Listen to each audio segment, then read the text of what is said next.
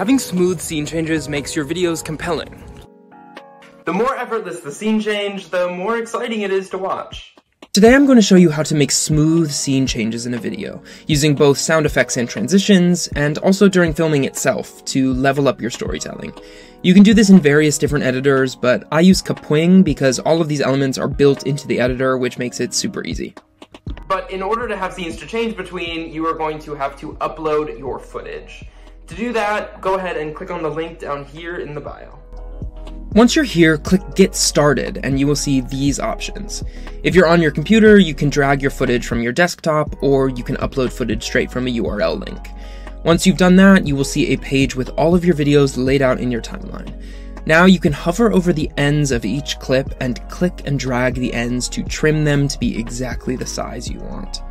If you need more help trimming, go and check out the other video that walks you through a ton of trimming tips, but once you have everything trimmed, it is time to start exploring scene changes. Now, there are two main ways you can go about this. The first is to combine transitions and sound effects. To add a transition, move your mouse over to the left side of the Studio Editor where you will see the Transitions tab. When you click that, you will see a library of transitions.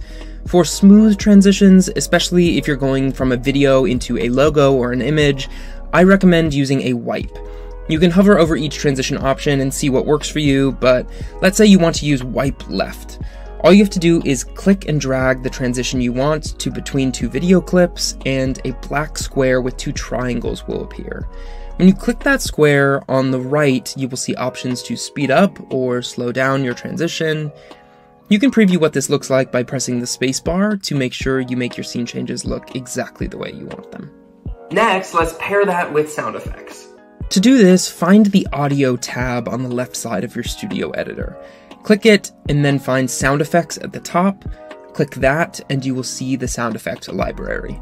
For smooth scene changes, I recommend a swoosh, so I'm going to type in swoosh in the search bar. There are a couple of options here. Preview what they sound like by clicking the play button, and when you find the one you want, click the box to put it into the timeline. From there, you can once again click and drag the ends to make it the size you want, click and drag it to where your transition is happening, and voila! You've got a smooth and amazing scene change. The other way to go about making compelling scene changes without editing too much is filming your scene changes. You saw me do one of these earlier, which is to end a clip by putting your hand over the lens like this. And begin the next clip by pulling your hand away. It's super fun and super easy to do. Another film scene change you can do is swipe across the screen like this. There are a ton of different scene changes you can edit or film, so play around with all your different options and see what you like. As a reminder, you can export your video by clicking the green export video button in the right hand corner.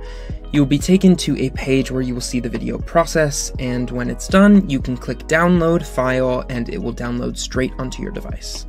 Thank you so much for watching. If you liked this video, please give it a like and let us know down in the comments below if you have any thoughts or questions or videos you want us to make in the future.